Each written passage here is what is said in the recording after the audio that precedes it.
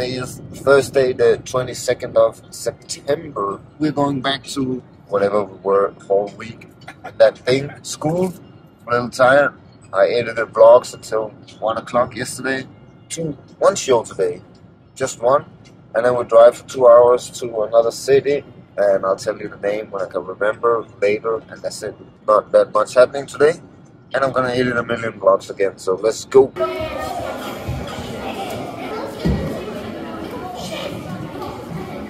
Hello everyone. Are you doing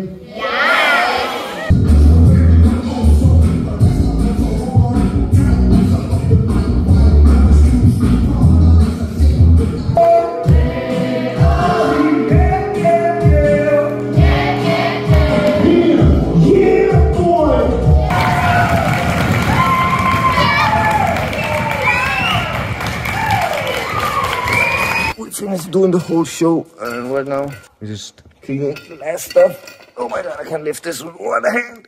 This is heavy. Eh. Packed everything down, and now we're gonna drive to the next city. It's two-hour drive, so it's not so bad. Yeah. Oh no. So he's telling me about ferry stories because we're gonna take a ferry today, and uh, the old crew started puking on a trip to Bornholm. So uh, yeah, good show, good riddance.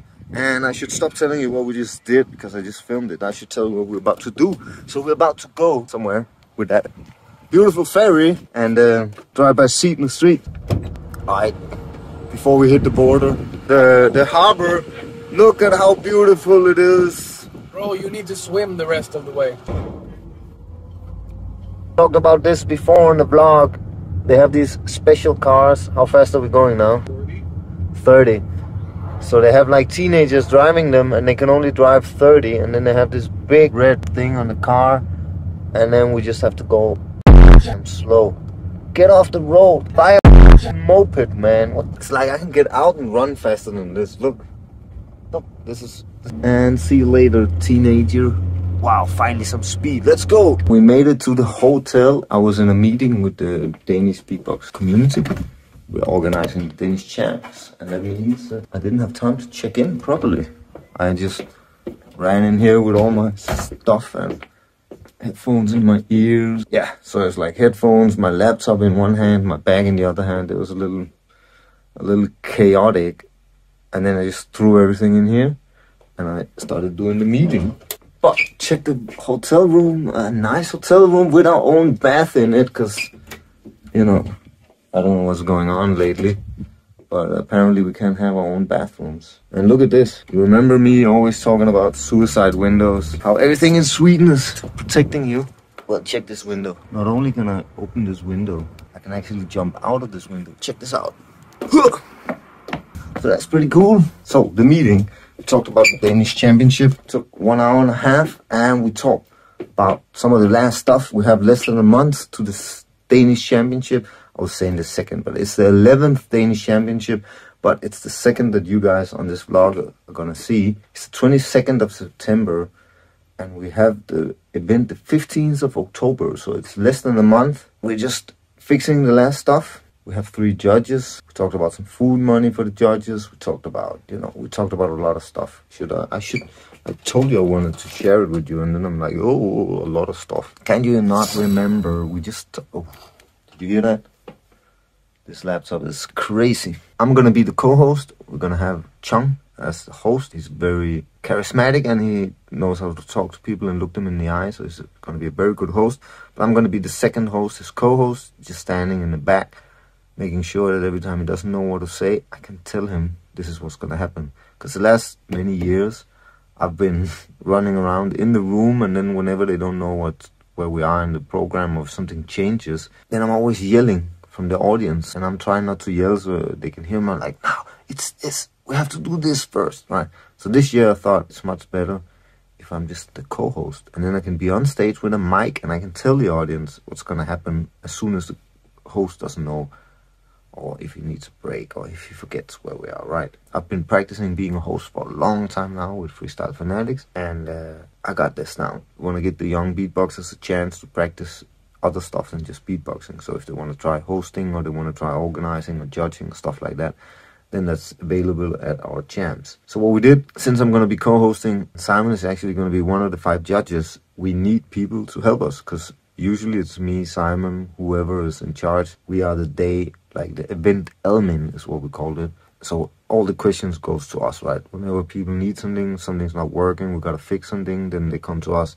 And this year, with me as a co-host, Simon as a judge, we can't do that. And we haven't talked to the other guys of the Danish thing. You know, we have a a board, an executive board in the Dansk Beatbox Forening in the union we have. I think we're six people, and some of them got kids, some of them are busy. So right now it's just Simon and I who are doing everything. Some of the other years, the other guys helped us do stuff, but we haven't talked to them so much this year, so they're gonna come and watch it, but I don't know if they have time to do that. So we're gonna ask for an event element. Then Crytex had an idea. He was like, we should do some shout outs for the Danish YouTube channel. He wants to be in charge of that, so he's going to do that. We also need a stage manager. We will need somebody to clean the mics. We need somebody to write on the diplomas. And we need somebody to be a runner for the judges so they can bring them drinks and stuff. So we're going to write a post and ask for some volunteers and try to get someone in the community to help us with that. We have to find some prizes for the winners of the championship. And uh, I got to fix a sponsor this year. And then Simon is going to spam it out to a list of that we already made and hopefully they're going to give us something. We also talked about some t-shirts that we need to fix. We need the Danish Championship t-shirts. That's very important for me and and for everybody, right? Because it's only memory.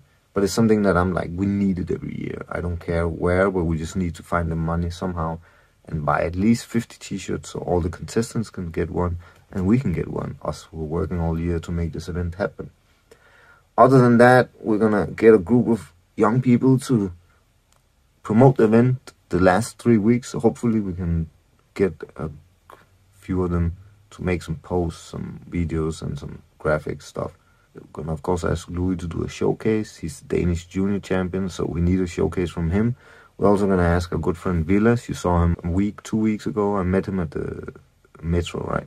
And he does crazy dancing and crazy juggling with mics and beatbox, and it's pretty cool. So he could do a showcase. And then, of course, we're going to ask our own boy, Roxo Loops. Everybody knows him from TV. So hopefully he will do a showcase and we can get some people to come to the event. So that is the plan. Now, I just gotta edit some vlogs. And did I tell you I bought a new computer? I told you some days ago. And this is crazy. I mean, forget about the lights. I think I can turn them on, but I don't really care. But it's really good. I have this I bought the stationery some years ago and I paid pretty much for it because I, cause I could edit videos and do all my music. And then we started touring like crazy. And um, when I'm home, I don't have time. I'm home one, two days. And I have so much to do. So it's been a little weird, you know, having this really expensive computer just sitting at home and being used like once every month. I'll show you how far behind I am on my editing. Look at this.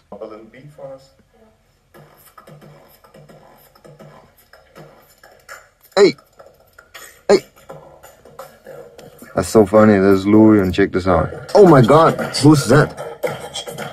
That's S doing a showcase. The Danish champion. Wait, I think I have Louis somewhere. Oh!